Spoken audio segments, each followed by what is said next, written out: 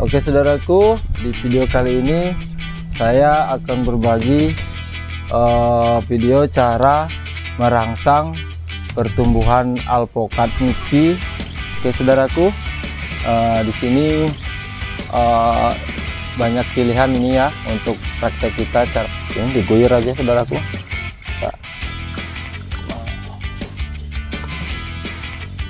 Oke saudaraku untuk bibitnya sendiri ini memang kecilnya saudaraku sekitar uh, 50 cm karena memang kami bertahap ya dari yang terkecil dulu kita uh, coba untuk memupuk buah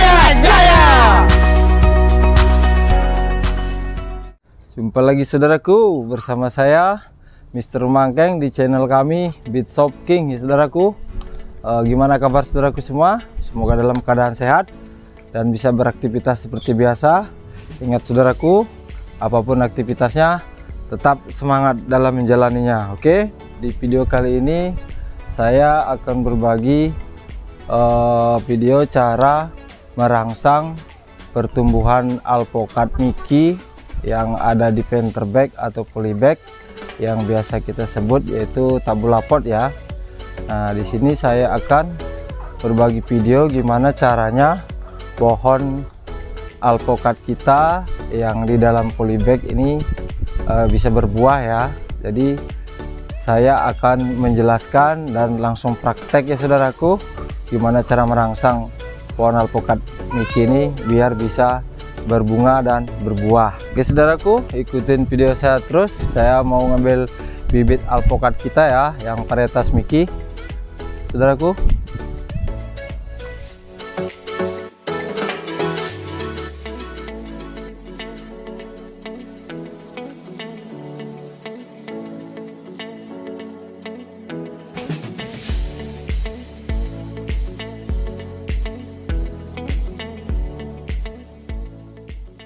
Oke saudaraku, uh, di sini uh, banyak pilihan ini ya untuk praktek kita cara membuahkan uh, alpokat uh, Miki yang di dalam polybag ya. Kebetulan pada video kali ini saya untuk praktek cara membuahkannya uh, yang menggunakan polybag ya, uh, yang menggunakan polybag. Oke saudaraku, saya pilih dulu ya. Saya mau cek dulu dari daun dan batang serta cabang ya saudaraku. Ini masih daun muda masih daun muda. Nah ini daun tua Miki juga. Uh, terus ini ini pas daunnya cabangnya. Oke. Nah saudaraku ini bibit kita. Uh, 1 2 3 4 5 ini Miki semua ya saudaraku. Dan bibitnya ini sangat super super saya akan memilih uh, bibit yang uh, agak tua daunnya saudaraku terutama. Nah, nah ini saudaraku saya sudah ketemu. Nah ini saudaraku cabangnya udah lumayan besar. Terus uh, batangnya udah lumayan besar. Cabang cabang. Dan ini saudaraku yang terpenting. Dia tidak mupus. Nah, saudaraku daunnya udah uh, tua dan masih dua helai daun lagi menuju tua ya. Oke saya mau angkat dulu.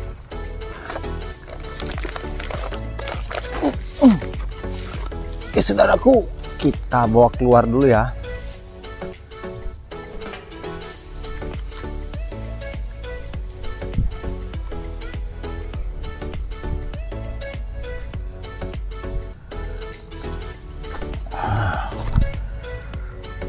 saudaraku eh, ketinggian satu meter up ya saudaraku. Satu meteran.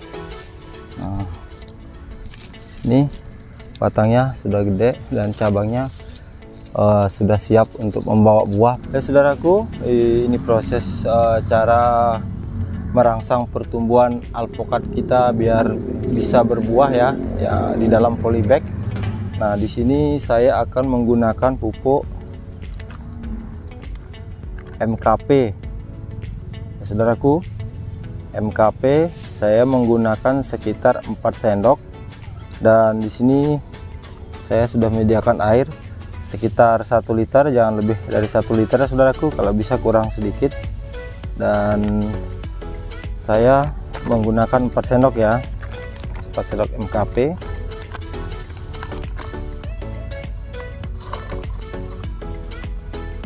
tuh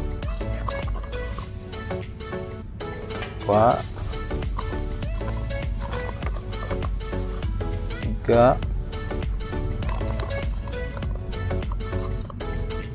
Empat. Nah, kemudian kita aduk sampai rata.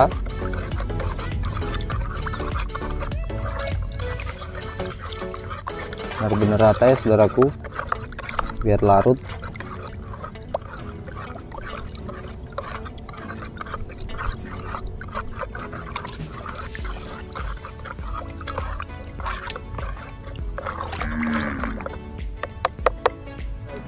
ya saudaraku pupuk MKP 4 sendok udah saya larutkan ke dalam air ya. Airnya 1 liter. Nah, sekarang saya akan menuangkan ke uh, tanaman uh, ke bibit alpokat kita ya yang pakai polybag. Ini diguyur aja saudaraku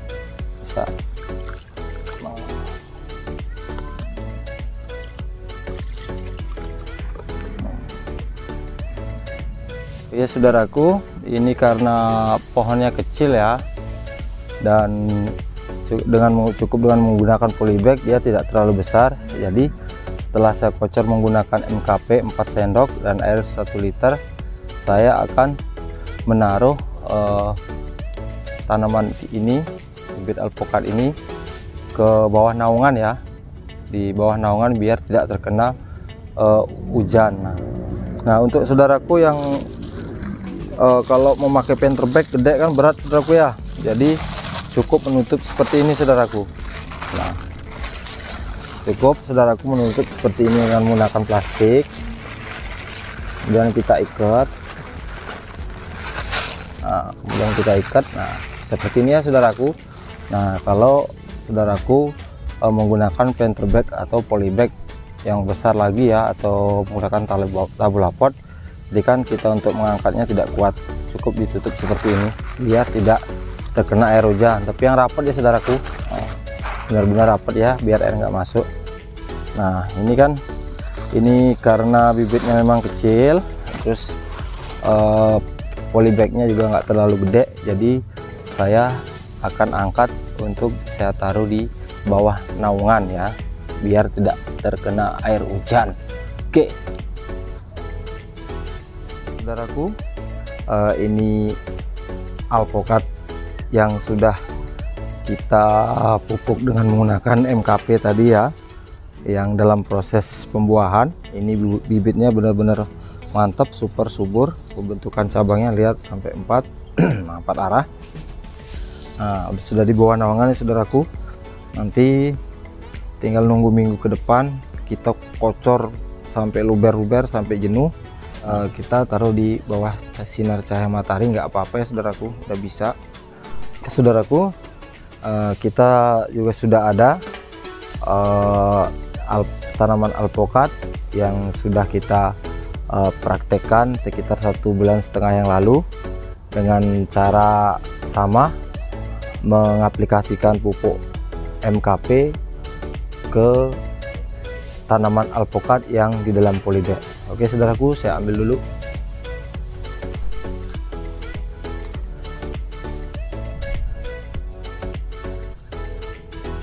Nah, ini saudaraku bukti dari pengaplikasian uh, pupuk MKP dengan cara dikocor dengan takaran 4 sendok.